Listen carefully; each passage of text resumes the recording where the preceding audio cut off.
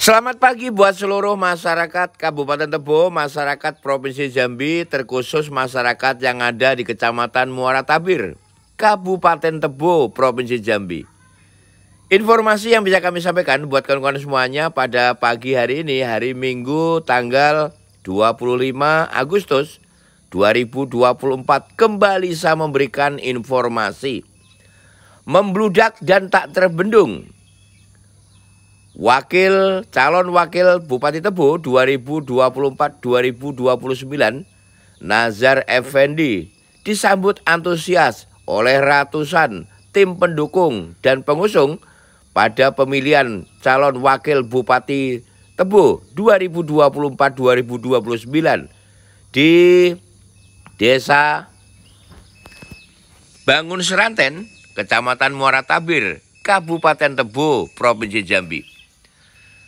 Dalam beberapa hari terakhir memang untuk pasangan Nazar Effendi yakni saudara Agus Robianto sendiri memang tidak berada di Tebu, berada di Jakarta. Maka dalam beberapa kesempatan untuk Nazar sendiri, Rotso dan keliling, kalau beberapa hari yang lalu berada di Sumai, kemudian hari kemarin membuka secara resmi kejuaraan gestrek dan Cross yang ada di Pintas Tuwo, Kecamatan Muaratabir, Kabupaten Tebu, maka kemudian dilanjutkan dengan pengukuhan tim pemenangan untuk Agus Nazar, calon bupati dan wakil bupati Tebu 2024-2029 di Bangun Seranten.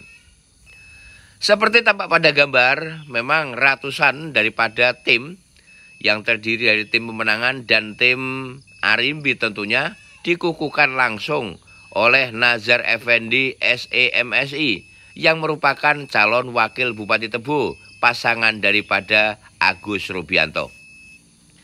Hadir dalam giat ini selain calon wakil Bupati Tebu, Saudara Nazar Effendi juga tim pusat terdiri dari tim-tim pemenangan yang ada di Kabupaten Tebu. Tidak ketinggalan sepertinya orang tua kandung dari Agus Rubianto yakni Haji Muhammad Sutriman juga hadir di sini. Perlu kami sampaikan buat kawan-kawan semuanya bahwa untuk di Muara Tabir sendiri setelah kemarin membuka secara resmi uh, motocross dan gas track kemudian dilanjutkan dengan pengukuhan tim Arimbi maupun tim pemenangan kabarnya untuk kegiatannya sendiri bisa jadi akan dilanjutkan pada hari ini karena kemarin jadwalnya adalah dua hari informasi yang saya dapatkan. Perlu kami sampaikan buat kawan-kawan semuanya pada pagi hari ini mudah-mudahan informasi ini bermanfaat semuanya. Admin tentu hanya mengucapkan selamat dan sukses untuk kawan-kawan yang hari ini sudah dikukuhkan dan dilantik menjadi tim pemenangan dari saudara ARB Najar. Mudah-mudahan bermanfaat informasi ini. Sukses selalu untuk negeri. Salam.